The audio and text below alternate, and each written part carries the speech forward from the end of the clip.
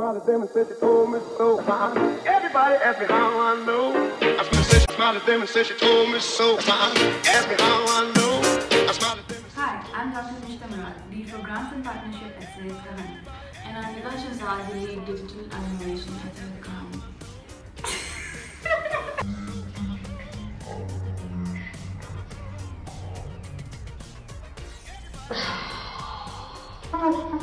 Hi, Nishta Murad, for Grants and Partnership at Sehat Kahani. And I'm Nida Shahzad, the lead digital innovation at Sehat Kahani. and 3 being in KPK. And we have impacted over 55,000 lives directly through the e-hubs and 28 to 80,000 lives um, indirectly.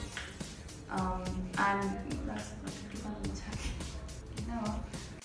60% of medical doctors graduating from medical college are females, yet only 23% go on to register with the Pakistan Medical and Dental Council, and even less continue to practice.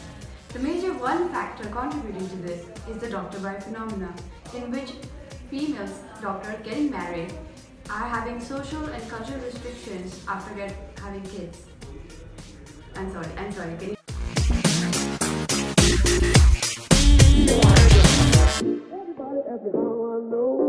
Smiled at them and said she told me so. high indicators?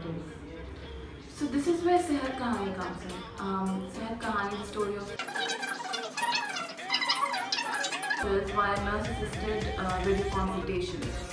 So far, we have 15 clinics all over Pakistan, um, 10 being in Sindh, 3 being in KPK and 2 being in Punjab. We have uh, an all provider, all health provider network of 1200 doctors. Oh my god,